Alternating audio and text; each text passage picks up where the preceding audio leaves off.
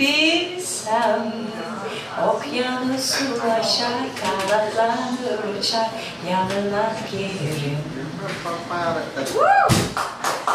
So, first time in my life I wrote the lyrics for this particular music from Santana Moonflower.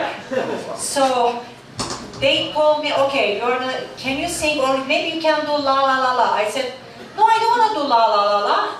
So I just keep listening, listening, thinking, thinking on my lunch break and what could be a little Turkish words could, you know, kind of uh, matches some certain music. It's, it's not easy at all, you know. But I think it's okay. I don't know, you're gonna It's decide. more than okay. Thank you. Okay, we'll see. Thank you for coming.